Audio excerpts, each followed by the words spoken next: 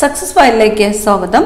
നമ്മൾ ഇന്നത്തെ ക്ലാസ്സിൽ നോക്കാൻ പോകുന്നത് രണ്ടായിരത്തി ഇരുപത്തി മൂന്നിൽ നടന്ന പരീക്ഷയുടെ ക്വസ്റ്റ്യൻ പേപ്പറാണ് ക്വസ്റ്റ്യൻ പേപ്പർ കോഡ് ഇരുന്നൂറ്റി രണ്ട് ബാർ രണ്ടായിരത്തി ഇരുപത്തി മൂന്ന് സ്റ്റാർട്ട് ചെയ്യാം. ആദ്യത്തെ ചോദ്യം.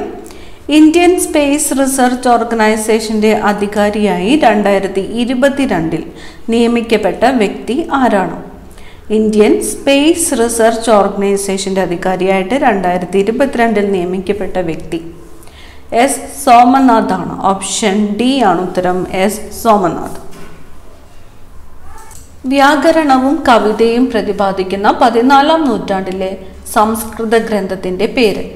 വ്യാകരണവും കവിതയും പ്രതിപാദിക്കുന്ന പതിനാലാം നൂറ്റാണ്ടിലെ സംസ്കൃത ഗ്രന്ഥത്തിന്റെ പേരാണ് ലീലാ തിലകം ഓപ്ഷൻ എ ആണ് ഉത്തരം ലീലാ തിലകം വ്യാപാര വിനിമയ തന്ത്രങ്ങൾ ഇവയിലേത് ഘടകവുമായി ബന്ധപ്പെട്ട് നിൽക്കുന്നു? വ്യാപാര വിനിമയ തന്ത്രങ്ങൾ ഇവയിലേത് ഘടകവുമായിട്ട് ബന്ധപ്പെട്ട് നിൽക്കുന്നു? തന്നിരിക്കുന്ന ഓപ്ഷൻസ് ഏതൊക്കെയാണ്? വിപണനം പ്രചാരണം പരസ്യം ബ്രാൻഡിംഗ് വ്യാപാര വിനിമയ തന്ത്രങ്ങൾ ഓപ്ഷൻ എ ആണ്. ഉത്തരം വിപണനവുമായിട്ടാണ് ബന്ധപ്പെട്ട് നിൽക്കുന്നത്. വിപണനം. അടുത്ത ചോദ്യം. ലോകത്തിലെ ഏറ്റവും വലിയ ജലവൈദ്യുത അണക്കെട്ട് ഏത് രാജ്യത്തിൽ നിന്നാണ്? ലോകത്തിലെ ഏറ്റവും വലിയ ജലവൈദ്യുത അണക്കെട്ട് ഏത് രാജ്യത്തിൽ നിന്നുമാണ്? ഓപ്ഷൻ എ ആണ് ഉത്തരം ചൈനയാണ് ചൈന. താഴെ പറയുന്നവയിൽ ഏതാണ്? അടിസ്ഥാന ജീവിത സംരക്ഷണ ഘടകം. അടിസ്ഥാന ജീവിത സംരക്ഷണ ഘടകം. ഓപ്ഷൻസ് തന്നിരിക്കുന്നു. സാങ്കേതിക വിദ്യ പരിസ്ഥിതി സംസ്കാരം ഇതൊന്നുമല്ല. ഓപ്ഷൻ ബി ആണ് ഉത്തരം പരിസ്ഥിതിയാണ്. അടിസ്ഥാന ജീവിത സംരക്ഷണ ഘടകം. ഏതാണ്? പരിസ്ഥിതി. ആറ് ലോകകപ്പ് കളിച്ച ആദ്യ വനിതാ ക്രിക്കറ്റ് ക്യാപ്റ്റൻ ആരാണ്? ആറ് ലോകകപ്പ് കളിച്ച ആദ്യ വനിതാ ക്രിക്കറ്റ് ക്യാപ്റ്റൻ. മിതാലി രാജാണ്. മിതാലി രാജ് രണ്ടായിരത്തി ഇരുപത്തി ഒന്നിലെ ജ്ഞാനപീഠ അവാർഡ് ജേതാവ് ആരാണ്? രണ്ടായിരത്തി ഇരുപത്തി ഒന്നിലെ ജ്ഞാനപീഠ അവാർഡ് ജേതാവ് ദാമോദർ മോസോ ആണ് ദാമോദർ മോസോ. എവിടെയാണ് ആയിരത്തി എണ്ണൂറ്റി അമ്പത്തി ഏഴിലെ കലാപം ആരംഭിച്ചത്? ആയിരത്തി എണ്ണൂറ്റി അമ്പത്തി ഏഴിലെ കലാപം ആരംഭിച്ചത് എവിടെയാണ്? മീററ്റിലാണ്. മീററ്റിലാണ് ആയിരത്തി എണ്ണൂറ്റി അമ്പത്തി ഏഴിലെ കലാപം ആരംഭിച്ചത്. അടുത്ത ചോദ്യം. എന്നാണ് ദേശീയ ശാസ് ദേശീയ ശാസ്ത്ര ദിനമായിട്ട് ആചരിക്കുന്നത്? എന്നാണ് ദേശീയ ശാസ്ത്ര ദിനമായിട്ട് ആചരിക്കുന്നത്? ഫെബ്രുവരി ഇരുപത്തി എട്ടാണ് ദേശീയ ശാസ്ത്ര ദിനം എന്നാണ് ഫെബ്രുവരി ഇരുപത്തിയെട്ട്. ഏത് വർഷമാണ് അന്താരാഷ്ട്ര സമാധാനത്തിന്റെയും വിശ്വാസത്തിന്റെയും വർഷമായി തുർക്ക്മെനിസ്ഥാനിൽ നടത്തിയ യു എൻ ജനറൽ അസംബ്ലി പ്രഖ്യാപിച്ചത്? ഏത് വർഷമാണ് അന്താരാഷ്ട്ര സമാധാനത്തിന്റെയും വിശ്വാസത്തിന്റെയും വർഷമായിട്ട് തുർക്ക്മെനിസ്ഥാനിൽ നടത്തിയ യു എൻ ജനറൽ അസംബ്ലി പ്രഖ്യാപിച്ചത്? രണ്ടായിരത്തി ഇരുപത്തി ഒന്നാണ് രണ്ടായിരത്തി ഇരുപത്തി ഒന്ന് ഇന്ത്യയുടെ അയൽ രാജ്യങ്ങളുമായി ബന്ധപ്പെട്ട താഴെ പറയുന്ന പ്രസ്താവനകളിൽ ശരിയല്ലാത്തത് ഏത്? ശരിയല്ലാത്തത് ആണ് ചോദിച്ചിരിക്കുന്നത്. പ്രസ്താവനകൾ വായിക്കാം ആദ്യത്തേത്. ഇന്ത്യ ഏറ്റവും കൂടുതൽ ദൈർഘ്യമുള്ള കര അതിർത്തി പങ്കിടുന്നത് ബംഗ്ലാദേശുമായിട്ടാണ്. ഗൾഫ് ഓഫ് മാന്നാറും പാക് കടലെടുക്കും ഇന്ത്യയെയും ശ്രീലങ്കയെയും വേർതിരിക്കുന്നു. റാഡ്ക്ലിഫ് രേഖ ഇന്ത്യയും പാകിസ്ഥാനെയും തമ്മിൽ വേർതിരിക്കുന്നു. ഖൈബർ ചുരം ഇന്ത്യയും ഭൂട്ടാനെയും തമ്മിൽ ബന്ധിപ്പിക്കുന്നു. ഖൈബർ ചുരം ഇന്ത്യയും ഭൂട്ടാനെയും തമ്മിൽ ബന്ധിപ്പിക്കുന്നു എന്ന് പറഞ്ഞിരിക്കുന്നതാണ് ശരിയല്ലാത്ത പ്രസ്താവന. ഖൈബർ ചുരം ബന്ധിപ്പിക്കുന്നത് അഫ്ഗാനിസ്ഥാനെയും പാകിസ്ഥാനെയും തമ്മിലാണ്. അഫ്ഗാനിസ്ഥാനെയും പാകിസ്ഥാനെയും തമ്മിലാണ് ഖൈബർ ചുരം ബന്ധിപ്പിക്കുന്നത്. ഇതിൽ ശരിയായിട്ടുള്ള ഓപ്ഷൻസ് ഒന്നും കൂടി നോക്കാം. ഇന്ത്യ ഏറ്റവും കൂടുതൽ ദൈർഘ്യമുള്ള കര അതിർത്തി പങ്കിടുന്നത് ഏത് രാജ്യവുമായിട്ടാണ്? ബംഗ്ലാദേശുമായിട്ടാണ്. ഗൾഫ് ഓഫ് മാന്നാറും പാക് കടലെടുക്കും ഇന്ത്യയും ശ്രീലങ്കയും തമ്മിൽ വേർതിരിക്കുന്നു. റാഡ്ക്ലിഫ് രേഖ ഇന്ത്യയും പാകിസ്ഥാനെയും തമ്മിൽ വേർതിരിക്കുന്നു. അടുത്തത് താഴെ കൊടുത്തിരിക്കുന്നവയിൽ ഇന്ത്യയേക്കാൾ വിസ്തൃതിയുള്ള രാജ്യം ഏത്? ഇന്ത്യയേക്കാൾ വിസ്തൃതിയുള്ള രാജ്യം തന്നിരിക്കുന്നത് Argentina Algeria Brazil Saudi Arabia എന്നിവയാണ്. ഇതിൽ ഇന്ത്യയേക്കാൾ വിസ്തൃതിയുള്ള രാജ്യം ഏതാണ്? ബ്രസീലാണ്. ബ്രസീൽ. ഇന്ത്യയുടെ ഉപദ്വീപീയ പീഠഭൂമിയിലെ ഏറ്റവും ഉയരം കൂടിയ കൊടുമുടി ഏതാണ്? ഇന്ത്യയുടെ ഉപദ്വീപീയ പീഠഭൂമിയിലെ ഏറ്റവും ഉയരം കൂടിയ കൊടുമുടി ആനമുടിയാണ്. ആനമുടി. താഴെ തന്നിരിക്കുന്നവയിൽ ശുദ്ധജല തടാകം അല്ലാത്തത് ഏത്? ശുദ്ധജല തടാകം അല്ലാത്തതാണ് ചോദിച്ചിരിക്കുന്നത്. ഓപ്ഷൻസ് പറഞ്ഞിരിക്കുന്നു. വൂളാർ തടാകം ദാൽ തടാകം ലോക്തക് തടാകം സംബാർ തടാകം. ഇതിൽ ശുദ്ധജല തടാകം അല്ലാത്തത് ഏതാണ്? സാമ്പാർ തടാകമാണ്. ഓപ്ഷൻ ഡി സാമ്പാർ തടാകം. സർദാർ സരോവർ അണക്കെട്ട് ഏത് നദിയിലാണ് സ്ഥിതി ചെയ്യുന്നത്? സർദാർ സരോവർ അണക്കെട്ട് സ്ഥിതി ചെയ്യുന്നത് നർമ്മദ നദിയിലാണ്. സർദാർ സരോവർ അണക്കെട്ട് സ്ഥിതി ചെയ്യുന്നത് എവിടെയാണ്? നർമ്മദ. താഴെ പറയുന്നവയിൽ ജർമ്മനിയുടെ പങ്കാളിത്തത്തോടെ സ്ഥാപിതമായ ഇന്ത്യയിലെ ഇരുമ്പുരുക്ക് നിർമ്മാണശാല ഏത്? താഴെ പറയുന്നവയിൽ ജർമ്മനിയുടെ ജർമ്മനിയുടെ പങ്കാളിത്തത്തോടെ സ്ഥാപിതമായ ഇന്ത്യയിലെ ഇരുമ്പുരുക്ക് നിർമ്മാണശാല ഏതാണ്? റൂർക്കേലയാണ്. റൂർക്കേല ഇരുമ്പുരുക്ക് നിർമ്മാണശാലയാണ് ജർമ്മനിയുടെ പങ്കാളിത്തത്തോടെ സ്ഥാപിതമായ ഇന്ത്യയിലെ ഇരുമ്പുരുക്ക് നിർമ്മാണശാല. കോർബ കൽക്കരിപ്പാടം ഏത് സംസ്ഥാനത്താണ് സ്ഥിതി ചെയ്യുന്നത്? കോർബ കൽക്കരിപ്പാടം സ്ഥിതി ചെയ്യുന്നത് ഏത് സംസ്ഥാനത്താണ്? ഛത്തീസ്ഗഡിലാണ്. കോർബ കൽക്കരി പാടം സ്ഥിതി ചെയ്യുന്നത് ഛത്തീസ്ഗഡ്. ദേശീയ ജലപാത രണ്ട് ഏതൊക്കെ സ്ഥലങ്ങളെ തമ്മിൽ ബന്ധിപ്പിക്കുന്നു? ദേശീയ ജലപാത രണ്ട് ഏതൊക്കെ സ്ഥലങ്ങളെ തമ്മിൽ ബന്ധിപ്പിക്കുന്നു? സാദിയ ധൂബ്രി സാദിയയും ധൂബ്രിയും തമ്മിലാണ് ദേശീയ ജലപാത രണ്ട് ബന്ധിപ്പിക്കുന്നത്. നാഷണൽ റിമോട്ട് സെൻസിംഗ് സെന്ററിന്റെ ആസ്ഥാനം എവിടെയാണ്? നാഷണൽ റിമോട്ട് സെൻസറിംഗ് സെന്ററിന്റെ ആസ്ഥാനം ഹൈദരാബാദാണ്. ഹൈദരാബാദ്. നാഷണൽ റിമോട്ട് സെൻസിംഗ് സെന്ററിന്റെ ആസ്ഥാനം ഹൈദരാബാദ്. നറോറ ആണവോർജ നിലയം സ്ഥിതി ചെയ്യുന്ന സംസ്ഥാനം. നറോറ ആണവോർജ നിലയം സ്ഥിതി ചെയ്യുന്ന സംസ്ഥാനം ഉത്തർപ്രദേശാണ്. ഉത്തർപ്രദേശ്. നമ്മുടെ ദേശീയ ഗാനമായ ജനഗണമന ഏത് ഭാഷയിലാണ് രചിച്ചത്? ജനഗണമന ഏത് ഭാഷയിലാണ് രചിച്ചത്? ബംഗാളി ഭാഷയിലാണ് ബംഗാളി. ഇന്ത്യയുടെ ദേശീയ ഗീതമായ വന്ദേ മാതരം ബങ്കിം ചന്ദ്ര ചാറ്റർജിയുടെ ഏത് കൃതിയിൽ നിന്നും എടുത്തതാണ്? ഇന്ത്യയുടെ ദേശീയ ഗീതമായ വന്ദേ മാതരം ബങ്കിം ചന്ദ്ര ചാറ്റർജിയുടെ ഏത് കൃതിയിൽ നിന്നും എടുത്തതാണ്? ആനന്ദമഠം എന്ന കൃതിയിൽ നിന്നും എടുത്തതാണ് ആനന്ദമഠം. ഇന്ത്യൻ പൗരന്റെ മൗലികാവകാശങ്ങളുമായി ബന്ധപ്പെട്ട് താഴെ പറയുന്ന പ്രസ്താവനകളിൽ തെറ്റ് ഏത്? തെറ്റായിട്ടുള്ള പ്രസ്താവന ഏത് എന്നാണ് ചോദിച്ചിരിക്കുന്നത്. പ്രസ്താവനകൾ വായിക്കാം. മൗലികാവകാശങ്ങളെ സംരക്ഷിക്കുന്നത് ഭരണഘടനയാണ്. മൗലികാവകാശങ്ങളിൽ മാറ്റം വരുത്തുവാൻ ഭരണഘടന ഭേദഗതിയിലൂടെ മാത്രമേ സാധിക്കുകയുള്ളൂ. ഗവൺമെന്റിന്റെ ഒരു ഘടകവും മൗലികാവകാശങ്ങൾ ലംഘിക്കുന്ന രീതിയിൽ പ്രവർത്തിക്കാൻ പാടുള്ളതല്ല. മൗലികാവകാശങ്ങൾ ന്യായവാദാർഹമല്ല. അപ്പൊ ഇന്ത്യൻ പൗരന്റെ മൗലികാവകാശങ്ങളുമായി ബന്ധപ്പെട്ട തെറ്റായിട്ടുള്ള പ്രസ്താവന എന്ന് പറയുന്നത് ഓപ്ഷൻ ഡി ആണ്. മൗലിക അവകാശങ്ങൾ ന്യായവാദാർഹമല്ല എന്ന് പറഞ്ഞിരിക്കുന്നതാണ് തെറ്റായിട്ടുള്ള പ്രസ്താവന.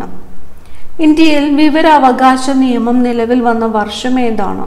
വിവരാവകാശ നിയമം നിലവിൽ വന്നത് രണ്ടായിരത്തി അഞ്ചിലാണ് രണ്ടായിരത്തി അഞ്ചിലാണ് ഇന്ത്യയിലെ വിവരാവകാശ നിയമം നിലവിൽ വന്നത്. അടുത്ത ചോദ്യം. ദേശീയ മനുഷ്യാവകാശ കമ്മീഷന്റെ ആദ്യത്തെ ചെയർപേഴ്സൺ ആര്? ദേശീയ മനുഷ്യാവകാശ കമ്മീഷന്റെ ആദ്യത്തെ ചെയർപേഴ്സൺ ജസ്റ്റിസ് രംഗനാഥ മിശ്രയാണ്. ജസ്റ്റിസ് രംഗനാഥ മിശ്രയാണ്? ദേശീയ മനുഷ്യാവകാശ കമ്മീഷന്റെ ആദ്യത്തെ ചെയർമാൻ.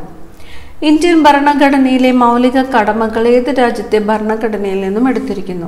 മൗലിക കടമകൾ ഏത് രാജ്യത്തെ ഭരണഘടനയിൽ നിന്നുമാണ് എടുത്തിരിക്കുന്നത്? സോവിയറ്റ് യൂണിയന്റെതാണ് സോവിയറ്റ് യൂണിയൻ. ഇന്ത്യൻ ഭരണഘടനയുടെ ആത്മാവും ഹൃദയവും എന്ന് വിശേഷിപ്പിക്കപ്പെടുന്ന ആർട്ടിക്കിൾ ഏത്? ഇന്ത്യൻ ഭരണഘടനയുടെ ആത്മാവും ഹൃദയവും എന്ന് വിശേഷിപ്പിക്കപ്പെടുന്ന ആർട്ടിക്കിൾ ഏതാണ്? ആർട്ടിക്കിൾ മുപ്പത്തിരണ്ടാണ് ആർട്ടിക്കിൾ മുപ്പത്തിരണ്ട്. ഇന്ത്യയുടെ ദേശീയ മുദ്രയിൽ ഉൾപ്പെട്ടിട്ടുള്ള മൃഗങ്ങൾ ഏതെല്ലാം? ഇന്ത്യയുടെ ദേശീയ മുദ്രയിൽ ഉൾപ്പെട്ടിട്ടുള്ള മൃഗങ്ങൾ ഏതെല്ലാമാണ്? ആന കാള സിംഹം കുതിര എന്നിവയാണ് ഇന്ത്യയുടെ ദേശീയ മുദ്രയിൽ ഉൾപ്പെട്ടിട്ടുള്ള മൃഗങ്ങൾ. ആന കാള സിംഹം കുതിര. അടുത്ത ചോദ്യം. കൂട്ടത്തിൽ ഉൾപ്പെടാത്തത് ഏത്? കൂട്ടത്തിൽ ഉൾപ്പെടാത്തത് തന്നിരിക്കുന്നു. സമത്വത്തിനുള്ള അവകാശം സ്വാതന്ത്ര്യത്തിനുള്ള അവകാശം സ്വത്തവകാശം മത സ്വാതന്ത്ര്യത്തിനുള്ള അവകാശം. ഓപ്ഷൻ സി ആണ് കൂട്ടത്തിൽ പെടാത്തത്. ഓപ്ഷൻ സി സ്വത്തവകാശം എന്ന് പറയുന്നതാണ് കൂട്ടത്തിൽ പെടാത്തത്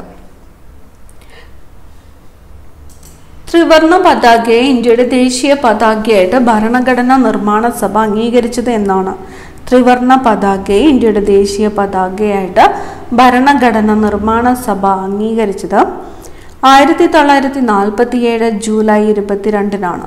ആയിരത്തി തൊള്ളായിരത്തി നാൽപ്പത്തി ഏഴ് ജൂലൈ ഇരുപത്തിരണ്ടിനാണ് ഇന്ത്യയുടെ ത്രിവർണ പതാകയുടെ ദേശീയ പതാകയായിട്ട് ഭരണഘടനാ നിർമ്മാണ സഭ അംഗീകരിച്ചത്. രാജാറാം മോഹൻ റോയ് ബംഗാളി ഭാഷയിൽ ആരംഭിച്ച പത്രം. രാജാറാം മോഹൻ റോയ് ബംഗാളി ഭാഷയിൽ ആരംഭിച്ച പത്രം. സമ്പാദ് കൗമുദിയാണ്. സമ്പാദ് കൗമുദി. ആയിരത്തി തൊള്ളായിരത്തി ഏഴിൽ ജർമ്മനിയിലെ സ്റ്റഡ്ഘട്ടിൽ വെച്ച് നടന്ന ഇന്റർനാഷണലിന്റെ സമ്മേളനത്തിൽ ത്രിവർണ പതാക ഉയർത്തിയ ഇന്ത്യൻ വനിത ആരാണ്? ആയിരത്തി തൊള്ളായിരത്തി ഏഴിൽ ജർമ്മനിയിലെ സ്റ്റഡ്ഘട്ടിൽ വെച്ച് നടന്ന ഇന്റർനാഷണലിന്റെ സമ്മേളനത്തിൽ ത്രിവർണ പതാക ഉയർത്തിയ ഇന്ത്യൻ വനിത ആരാണ്? മാഡം ബിക്കാജി കാമയാണ്. മാഡം ബിക്കാജി കാമ. പ്രത്യക്ഷ രക്ഷാ ദൈവസഭ എന്ന സാമൂഹ്യ പരിഷ്കരണ പ്രസ്ഥാനത്തിന്റെ സ്ഥാപകൻ. പ്രത്യക്ഷ രക്ഷാ ദേവസഭ എന്ന സാമൂഹ്യ പരിഷ്കരണ പ്രസ്ഥാനത്തിന്റെ സ്ഥാപകൻ കുമാര ഗുരുദേവനാണ് കുമാര ഗുരുദേവൻ ഇന്ത്യയുടെ ദാരിദ്ര്യത്തിനുള്ള കാരണം ബ്രിട്ടീഷുകാരുടെ സാമ്പത്തിക ചോർച്ചയാണെന്ന് ചോർച്ച സിദ്ധാന്തത്തിലൂടെ സമർത്ഥിച്ച ഇന്ത്യൻ സാമ്പിക സാമ്പത്തിക വിദഗ്ധൻ ഇന്ത്യയുടെ ദാരിദ്ര്യത്തിനുള്ള കാരണം ബ്രിട്ടീഷുകാരുടെ സാമ്പത്തിക ചോർച്ചയാണെന്ന് ചോർച്ചാ സിദ്ധാന്തത്തിലൂടെ സമർത്ഥിച്ച ഇന്ത്യൻ സാമ്പത്തിക വിദഗ്ധൻ ആരാണ്? ദാദാബായ് നവറോജിയാണ്. ദാദാബായ് നവറോജി. സ്വതന്ത്ര ഇന്ത്യയുടെ ആദ്യത്തെ ഗവർണർ ജനറൽ. സ്വതന്ത്ര ഇന്ത്യയുടെ ആദ്യത്തെ ഗവർണർ ജനറൽ മൗണ്ട് ബാറ്റൺ പ്രഭുവാണ്. മൗണ്ട് ബാറ്റൺ പ്രഭുവാണ് സ്വതന്ത്ര ഇന്ത്യയുടെ ആദ്യത്തെ ഗവർണർ ജനറൽ. കേരളത്തിലെ ആദ്യത്തെ സർവകലാശാല കേരളത്തിലെ ആദ്യത്തെ സർവകലാശാല തിരുവിതാംകൂർ സർവകലാശാലയാണ്. തിരുവിതാംകൂർ സർവകലാശാലയാണ് കേരളത്തിലെ ആദ്യത്തെ സർവകലാശാല. കേരള ഗാന്ധി എന്നറിയപ്പെടുന്നത് ആരാണ് കേരള ഗാന്ധി. കെ. കേളപ്പനാണ് കേരള ഗാന്ധി എന്ന് അറിയപ്പെടുന്നത് വേദാധികാര നിരൂപണം പ്രാചീന മലയാളം എന്നീ കൃതികളുടെ രചയിതാവായ സാമൂഹ്യ പരിഷ്കർത്താവ് ആരാണ്? വേദാധികാര നിരൂപണം പ്രാചീന മലയാളം എന്നീ കൃതികളുടെ രചയിതാവായ സാമൂഹ്യ പരിഷ്കർത്താവാണ് ചട്ടമ്പി സ്വാമികൾ. ഓപ്ഷൻ സി ആണ് ഉത്തരം ചട്ടമ്പി സ്വാമികൾ. സമുദ്രനിരപ്പിൽ നിന്നും ഏഴ് പോയിന്റ് അഞ്ച് മീറ്റർ മുതൽ എഴുപത്തി അഞ്ച് മീറ്റർ വരെ ഉയരമുള്ള കേരളത്തിന്റെ ഭൂപ്രകൃതി വിഭാഗം. സമുദ്രനിരപ്പിൽ നിന്നും ഏഴ് പോയിന്റ് അഞ്ച് മീറ്റർ മുതൽ എഴുപത്തി അഞ്ച് മീറ്റർ വരെ ഉയരമുള്ള കേരളത്തിന്റെ ഭൂപ്രകൃതി വിഭാഗം ഏതാണ്? ഇടനാടാണ്. ഇടനാട്. കേരളത്തിലെ ഏറ്റവും വലിയ ശുദ്ധജല തടാകം. കേരളത്തിലെ ഏറ്റവും വലിയ ശുദ്ധജല തടാകം ശാസ്താംകോട്ട തടാകമാണ്. അപ്പോൾ ശാസ്താംകോട്ട തടാകം ഏത് ജില്ലയിലാണ് സ്ഥിതി ചെയ്യുന്നത് എന്ന് അറിയാവുന്നവർ കമന്റ് ചെയ്യുക. അടുത്ത ചോദ്യം. ആലപ്പുഴ കോട്ടയം എറണാകുളം ജില്ലകളിലായി വ്യാപിച്ചു കിടക്കുന്ന കായൽ. ഏതൊക്കെ ജില്ലകളാണ്? ആലപ്പുഴ കോട്ടയം എറണാകുളം. എന്നീ ജില്ലകളിലായിട്ട് വ്യാപിച്ചു കിടക്കുന്ന കായലാണ് വേമ്പനാട്ടു കായൽ വേമ്പനാട്ടു കായൽ ഏതൊക്കെ ജില്ലകളിലായിട്ടാണ് വ്യാപിച്ചു കിടക്കുന്നത്? ആലപ്പുഴ കോട്ടയം എറണാകുളം. അടുത്ത ചോദ്യം. താഴെ പറയുന്നവയിൽ റെയിൽവേ ഇല്ലാത്ത ജില്ല ഏത്? താഴെ പറയുന്നവയിൽ റെയിൽവേ ഇല്ലാത്ത ജില്ല. തന്നിരിക്കുന്നത് പത്തനംതിട്ട പാലക്കാട് മലപ്പുറം വയനാട് എന്നിവയാണ്. ഇതിൽ റെയിൽവേ ഇല്ലാത്ത ജില്ലയാണ് വയനാട്. ശ്രീനാരായണ ഗുരുവിന്റെ ജന്മസ്ഥലം. ശ്രീനാരായണ ഗുരുവിന്റെ ജന്മസ്ഥലം ചെമ്പഴന്തി. കേരളത്തിലെ ദേശീയ ജലപാത. കേരളത്തിലെ ദേശീയ ജലപാത ദേശീയ ജലപാത മൂന്നാണ്. എൻ ഡബ്ല്യു മൂന്നാണ് കേരളത്തിലെ ദേശീയ ജലപാത. ആയിരത്തി എണ്ണൂറ്റി പതിനേഴിൽ പ്രൈമറി വിദ്യാഭ്യാസം സൗജന്യമാക്കിക്കൊണ്ട് വിളംബരം പുറപ്പെടുവിച്ച തിരുവിതാംകൂർ ഭരണാധികാരി. ആയിരത്തി എണ്ണൂറ്റി പതിനേഴിൽ പ്രൈമറി വിദ്യാഭ്യാസം സൗജന്യമാക്കിക്കൊണ്ട് വിളംബരം പുറപ്പെടുവിച്ച തിരുവിതാംകൂർ ഭരണാധികാരി ഗൗരി പാർവതി ബായി ആണ്. ഗൗരി പാർവതി ബായ്. വൈക്കം സത്യാഗ്രഹ സമരത്തോട് അനുഭാവം പ്രകടിപ്പിച്ചുകൊണ്ട് സവർണ ജാഥ സംഘടിപ്പിച്ച സാമൂഹ്യ പരിഷ്കർത്താവ്. വൈക്കം സത്യാഗ്രഹ സമരത്തോട് അനുഭാവം പ്രകടിപ്പിച്ചുകൊണ്ട് സവർണ ജാഥ സംഘടിപ്പിച്ച സാമൂഹിക പരിഷ്കർത്താവാണ് മന്നത്ത് പത്മനാഭൻ. ഗാന്ധിജിയുടെ നേതൃത്വത്തിൽ നടന്ന അവസാനത്തെ ബഹുജന സമരം. ഗാന്ധിജിയുടെ നേതൃത്വത്തിൽ നടന്ന അവസാനത്തെ ബഹുജന സമരമാണ് ക്വിറ്റ് ഇന്ത്യ സമരം ക്വിറ്റ് ഇന്ത്യ സമരം. ഇന്ത്യൻ സ്വാതന്ത്ര്യ സമരത്തിന്റെ അന്തിമ ലക്ഷ്യം പൂർണ സ്വരാജാണെന്ന് പ്രഖ്യാപിച്ച ഇന്ത്യൻ നാഷണൽ കോൺഗ്രസിന്റെ സമ്മേളനം നടന്നത് എവിടെ വച്ചാണ്? ഇന്ത്യൻ സ്വാതന്ത്ര്യ സമരത്തിന്റെ അന്തിമ ലക്ഷ്യം പൂർണ സ്വരാജ് ആണെന്ന് പ്രഖ്യാപിച്ച ഇന്ത്യൻ നാഷണൽ കോൺഗ്രസിന്റെ സമ്മേളനം നടന്നത് എവിടെ വെച്ചാണ്? ലാഹോർ സമ്മേളനമാണ്. ലാഹോർ സമ്മേളനത്തിൽ വെച്ചാണ് ഇന്ത്യൻ സ്വാതന്ത്ര്യ സമരത്തിന്റെ അന്തിമ ലക്ഷ്യം പൂർണ സ്വരാജ് ആണെന്ന് പ്രഖ്യാപിച്ചത്.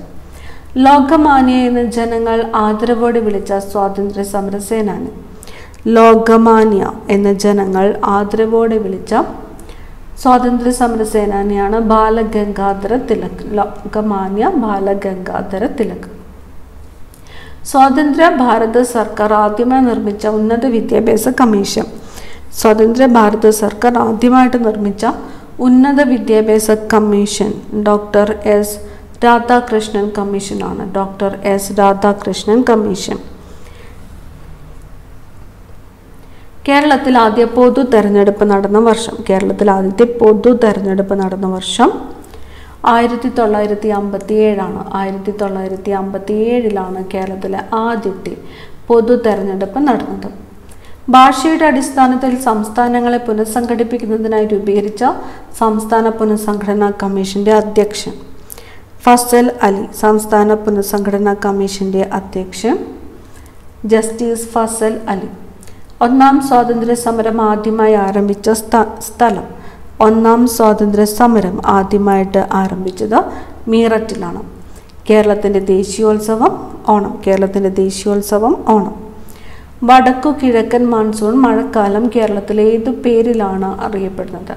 വടക്കു കിഴക്കൻ മൺസൂൺ മഴക്കാലം കേരളത്തിൽ അറിയപ്പെടുന്നത് തുലാവർഷം എന്നാണ് തുലാവർഷം. വരിക വരിക സഹചര്യ വലിയ സഹന സമരമായി. ഈ സ്വാതന്ത്ര്യ സമരഗാനത്തിന്റെ രചയിതാവ്. വരിക വരിക സഹചര്യ വലിയ സഹന സമരമായി. ഈ സ്വാതന്ത്ര്യ സമരഗാനത്തിന്റെ രചയിതാവ് അംശി നാരായണ പിള്ളയാണ് അംശി നാരായണ പിള്ള കേരളത്തിലെ ഏറ്റവും ചെറിയ ജില്ല ഏതാണ്? ഏറ്റവും ചെറിയ ജില്ല ആലപ്പുഴ. തിരുവിതാംകൂറിലെ മുഖ്യ നിരത്തുകളിലൂടെ വില്ലുവണ്ടിയിൽ സഞ്ചരിച്ച് ചരിത്രം സൃഷ്ടിച്ച സാമൂഹ്യ പരിഷ്കർത്താവ് ആരാണ്? തിരുവിതാംകൂറിലെ മുഖ്യ നിരുത്തുകളിലൂടെ വില്ലുവണ്ടിയിൽ സഞ്ചരിച്ച് ചരിത്രം സൃഷ്ടിച്ച സാമൂഹിക പരിഷ്കർത്താവാണ് അയ്യങ്കാളി. കേരളത്തിലെ ആദ്യത്തെ റെയിൽ പാത നിർമ്മിച്ച വർഷം കേരളത്തിലെ ആദ്യത്തെ റെയിൽ പാത നിർമ്മിച്ചത് ആയിരത്തി എണ്ണൂറ്റി അറുപത്തി ഒന്നിലാണ് ആയിരത്തി എണ്ണൂറ്റി അറുപത്തി ഒന്ന് കേരളത്തിൽ ഉപ്പ് സത്യാഗ്രഹം നടന്ന പ്രധാന വേദി കേരളത്തിൽ ഉപ്പ് സത്യാഗ്രഹത്തിന്റെ പ്രധാന വേദി പയ്യന്നൂർ. ചുവടെ കൊടുത്തിരിക്കുന്നവയിൽ നിന്നും വായുവിലൂടെ പകരുന്ന രോഗങ്ങൾ തിരഞ്ഞെടുക്കുക. തന്നിരിക്കുന്നത് ക്ഷയം ടൈഫോയിഡ് ചിക്കൻ പോക്സ് എലിപ്പനി എന്നിവയാണ്. ഇതിൽ വായുവിലൂടെ പകരുന്ന രോഗങ്ങൾ തിരഞ്ഞെടുക്കുവാനാണ് പറഞ്ഞിരിക്കുന്നത്. ഉത്തരം വരുന്നത് ഓപ്ഷൻ ബി ആണ്. ഒന്നും മൂന്നുമാണ്. ക്ഷയവും ചിക്കൻ പോക്സുമാണ് വായുവിലൂടെ പകരുന്ന രോഗങ്ങൾ. ആഹാര വസ്തുക്കൾ കടിച്ചു കീറാൻ സഹായിക്കുന്ന പല്ലേതാണ്. ആഹാര വസ്തുക്കൾ കടിച്ചു കീറാൻ സഹായിക്കുന്നത് കോമ്പല്ലാണ്. ലിംഗാധിഷ്ഠിത അക്രമ സാമൂഹിക ദുരുപയോഗത്തിന് ഇരയായവർക്കുള്ള മെഡിക്കൽ പരിചരണം എന്ന വിഷയത്തിൽ കേരള സർക്കാർ ആരംഭിച്ച പദ്ധതി ഏത്? ഭൂമിക. ലിംഗാധിഷ്ഠിത അക്രമ സാമൂഹിക ദുരുപയോഗത്തിന് ഇരയായവർക്കുള്ള മെഡിക്കൽ പരിചരണം എന്ന വിഷയത്തിൽ കേരള സർക്കാർ ആരംഭിച്ച പദ്ധതിയാണ് ഭൂമിക. സ്കർവി ഏത് വിറ്റാമിനുമായി ബന്ധപ്പെട്ടിരിക്കുന്നു? സ്കർവി വിറ്റാമിൻ സിയുടെ അഭാവത്തിലുണ്ടാകുന്നതാണ് സ്കർവി വിറ്റാമിൻ സി രക്തത്തിലെ ദ്രാവക ഭാഗം ഏത് പേരിൽ അറിയപ്പെടുന്നു? രക്തത്തിലെ ദ്രാവക ഭാഗം. പ്ലാസ്മ. താഴെ കൊടുത്തവയിൽ നെല്ലിന്റെ സങ്കരയിനങ്ങൾ അല്ലാത്തത് ഏതാണ്? നെല്ലിന്റെ സങ്കരയിനങ്ങൾ അല്ലാത്തത്. ഓപ്ഷൻസ് തന്നിരിക്കുന്നത് പവിത്ര അനാമിക ഹ്രസ്വ ആർക്ക എന്നിവയാണ്. ഇതിൽ നെല്ലിന്റെ സങ്കരയിനങ്ങൾ അല്ലാത്തത്. ഓപ്ഷൻ എ ആണ് ഉത്തരം. രണ്ടും നാലുമാണ്. അനാമികയും ആർക്കയുമാണ് നെല്ലിന്റെ സങ്കരയിനങ്ങൾ അല്ലാത്തത്. താഴെ പറയുന്നവയിൽ ഇലകൾക്ക് ചുവപ്പ് നിറം നൽകുന്ന വർണകം ഏത്? ഇലകൾക്ക് ചുവപ്പ് നിറം നൽകുന്ന വർണകം.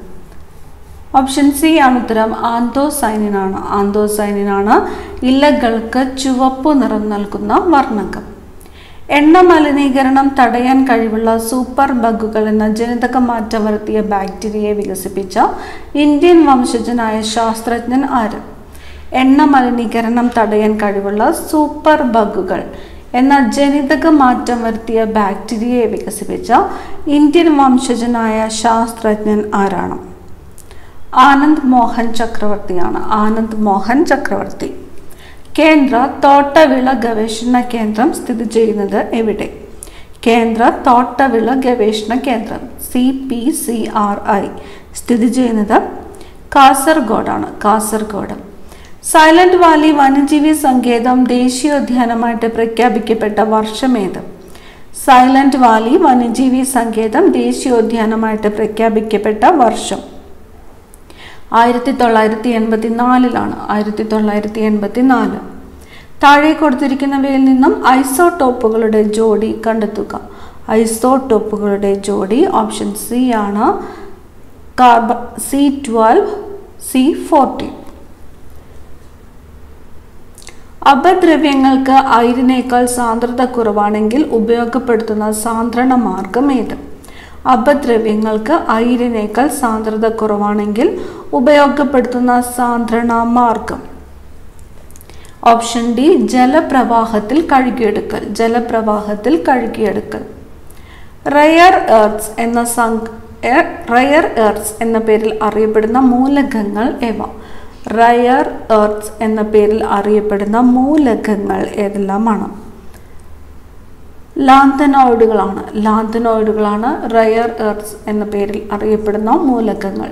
ലാന്തനോയിഡുകൾ. ഘനജലത്തിന്റെ രാസസൂത്രം ഏത്? ഘനജലത്തിന്റെ രാസസൂത്രം ഡി ടു ഒ ഇത് റിലേറ്റഡ് ക്വസ്റ്റ്യൻ ആണ്. അടുത്ത ചോദ്യം.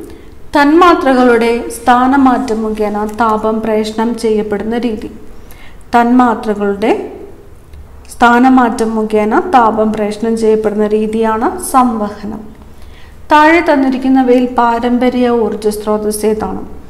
താഴെ തന്നിരിക്കുന്നതിൽ പാരമ്പര്യ ഊർജ സ്രോതസ് തന്നിരിക്കുന്നത് കാറ്റ് തിരമാല സൗരോർജം മണ്ണെണ്ണയാണ്. ഓപ്ഷൻ സി മണ്ണെണ്ണയാണ് പാരമ്പര്യ ഊർജ സ്രോതസ് ഇന്ത്യയുടെ ചൊവ്വ ദൗത്യം ഏത് പേരിലാണ് അറിയപ്പെടുന്നത്? ഇന്ത്യയുടെ ചൊവ്വ ദൗത്യം അറിയപ്പെടുന്നത് മംഗൾയാൻ. പ്രകാശം ഒരു മാധ്യമത്തിൽ നിന്ന് വ്യത്യസ്തമായ മറ്റൊരു മാധ്യമത്തിലേക്ക് കടക്കുമ്പോൾ അതിന്റെ പാതയ്ക്ക് വ്യതിയാനം സംഭവിക്കുന്നു. ഈ പ്രതിഭാസത്തിന് പറയുന്ന പേരെന്ത്? പ്രകാശം ഒരു മാധ്യമത്തിൽ നിന്ന് വ്യത്യസ്തമായ മറ്റൊരു മാധ്യമത്തിലേക്ക് കടക്കുമ്പോൾ അതിന്റെ പാതയ്ക്ക് വ്യതിയാനം സംഭവിക്കുന്ന. ഈ പ്രതിഭാസത്തിന് പറയുന്ന പേരാണ് അപവർത്തനം. ഓപ്ഷൻ എ ആണ് ഉത്തരം അപവർത്തനം. ഒരു വസ്തുവിന്റെ സ്വന്തം അക്ഷത്തെ അടിസ്ഥാനമാക്കിയുള്ള ചലനം. ഒരു വസ്തുവിന്റെ സ്വന്തം അക്ഷത്തെ അടിസ്ഥാനമാക്കിയുള്ള ചലനമാണ് ഭ്രമണം. ഇനി വരുന്നത് മാത്സ് ക്വസ്റ്റ്യൻസ് ആണ്. ഉത്തരങ്ങൾ മാത്രമാണ് പറയുന്നത്. വിട്ടുപോയ അക്കം കണ്ടെത്തുക.